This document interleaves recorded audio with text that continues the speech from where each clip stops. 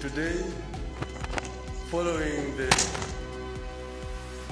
general elections that were held in our country on the 9th of this month. Our strategies going forward, but suffice it to note that we will be pursuing all constitutional and legal options available to us.